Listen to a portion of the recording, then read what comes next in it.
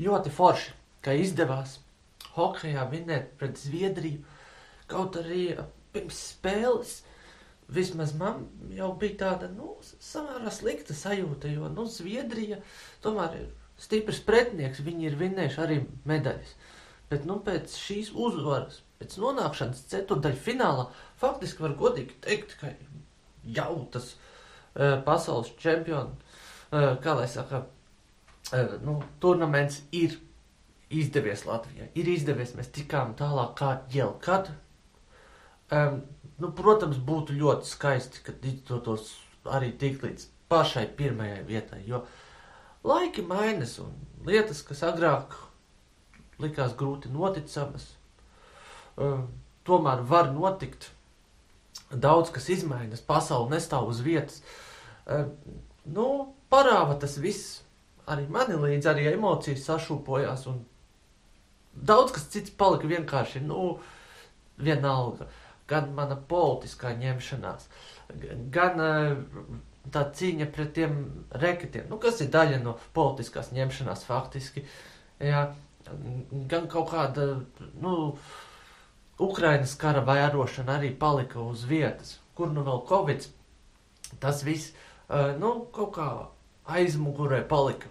Jo, nu, nu pavilka līdzi tā emocija, un, un Zviedrijas maču skatīties bija, nu, visinteresantāk no visiem hokeja mačiem, kuri ir jau kad redzēti, un uh, pat cilvēki, kuri savādāk tos mačus neskatās, skatījās līdzi, un arī līksmoja, un, un, un bija daudz emocijas, šīs kaislīgās emocijas tieši padarīja šo maču sevišķi skaistu. Un, nu, tagad Kanāda būs. Grūti, protams, saprast, kāpēc mēs nevaram mājās spēlēt. Mums taču Rīgā tā arēna ir, ko viņi tukši stāv, kāpēc mums braukt uz to Somiju. Arī tiem lielākajiem faniem, kuri tomēr nevienu spēli nenokavē, tagad ir nu, grūtības tos fiksot, tur tikt. Bet, nu, cerēsim jau, ka izdosies. Cerēsim, ka izdosies. Diemžēl pret Kanādu jau šai čempionā nu, spēlēs jau ir sanācis spēlēt, un nu, nebija labi rezultāti. Pret Kanādu tās spēles es skatos personīgi ļoti nelabprāt, jo, nu, vienkārši sarūktinājums tur bieži rodas, jā. Tas nav kaifīgi skatīties, ka tev ielaiž vienus vārdus, otrus vārdus, trešos vārdus, ceturtos vārdus. Un Kanāda, nu, ir ļoti stiprs, kā lai saka, hokeja pretinieks. Viņi ir daudzas, daudzas medaļas vinējuši, ļoti daudzas. Ja. Priekš viņiem tas pat liet, īsti lietas neizmainīt, ja viņiem tagad nesanāks, ja viņi izlidot ārā. Jo viņiem vienkārši mājās karājas, nu, pa pilno tās zelta medaļas, jā.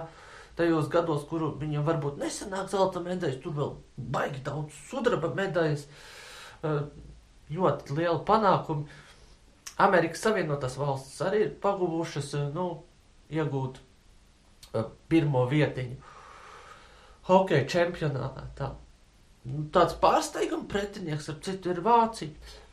Jā, viņi gan ir arī vairākas reizes bijuši ceturtajā finālā, bet nu, tur nav emociju, tur nav kaisla.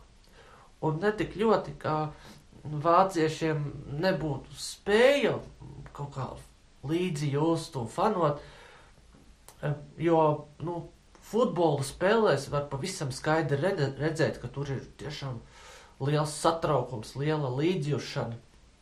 Ja, un ļoti daudz uzmanības tam visam pasākumam. Bet, nu, hokejs viņiem nav tāds īstais sports. To, to varēja ļoti labi redzēt, mm, īsi ieskatoties eh, tajā kopsavilkumā, Vācijas un Šveices spēlē. Nu, tu, tu, tur pirmās rindas tukšas bija.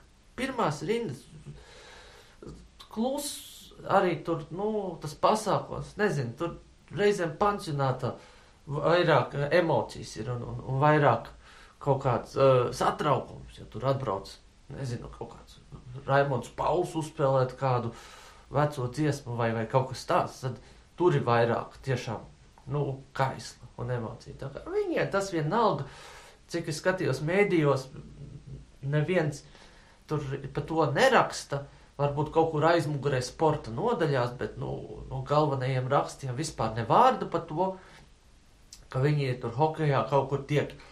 Nu, gan jau kaut kur sporta sadaļā, avīzēs arī ir kaut kur uz beigām apakšā kāds mazs rakstīns, kā tur ir tie mači gājuši. Bet, nu, vi, viņi arī var izrādīties stiprs pretinieks. Tā kā raustos, protams. Bet būtu, nu, nu tās būtu baigi traki, ja tagad vēl izdotos Kanādu nolikt, un tad no tās otras pusītes, vai tur vācietis būs, vai amerikānis, tie arī var būt nu, grūtāk pretinieki, viņi vēl vairāk tik tuvu uh, tiem fināliem ir tikuši, kā mēs jau kad, bet reizēm arī nu, palaimējis, reizēm arī notiek brīnumi, notiek skaistas lietas, un izdodas sasniegt kaut ko, kas, nu, ir grūti iedomājami. Nu, nu, gribētos, gribētos jau, ka izdodas, gribētos jau. Tas būtu baigi forši, baigi forši. Bet, nu, arī Kanādas, es, es vienkārši godīgi saprotu. Ir smagi skatīties tās spēles, tev laiž iekšā, laiž iekšā, laiž iekšā, laiž iekšā. Tur vajag kārtīgu porciju laimes. Kanādai vajag kādu sliktāku dienu, mums vajag kādu ļoti labāku dienu, un tad var, tad var sanākt, tad var sanākt. Par to nav nekādu šaubu, bet, nu, teiksim tā, loterijā vinēt pret viņiem, nu, nu spēle tā jau savu veidu loterija, tur visādi faktori ir iekšā. Um, nebūs viegli, jo nu, tās izredzes, tā varbūtība, statistiskā iespējamība ir nu, pret, pret Latviju, diemžēl. diemžēl. Bet, nu, ja izdotos, nu, tu, uj, tas būtu kaut kas baigais, jo, nu, ne Kanādai, ne tai Amerikai tāda medaļa tagad tik baigi kaut ko neizmainīt. Viņi jau ir sev pierādījuši. Viņi jau hokeja pasaulē ir jau kaisla, teksme, vēlme ir. Un emocijas sažūpojas arī uh, ārpus stadiona. Par to vispār nav nekādu jautājumu. Taču šorīt jūs ziņas paskatījāties televizorā. Hokejs, hokejs, hokejs, hokejs, hokejs, hokejs, hokejs, hokejs, hokejs.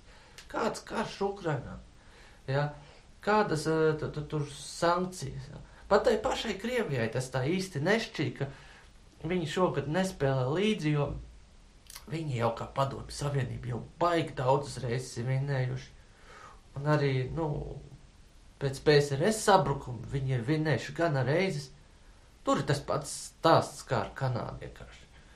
Tas viņiem tā lietas baigi, baigi nemainītu, jā. Viņiem, es domāju, pat pie uzvars, ja viņi būtu spēlējuši līdz, tas karš un tā Ukraina paliktu pulka lielāka tēma, jo, nu, tur viņiem cilvēkiem ir lielāka kvantitāte. Daudz jauni puiši aiziet, nu, varbūt papriecātos kādu brīdi, jā, bet nu, viņiem tā izslēgšana no pasaules čempiona nāca šogad. Nedomāju, ka ir tāds liels bēdu brīdis. Nedomāju galīgi. Un, nu, mums, mums tagad laiki izmainās.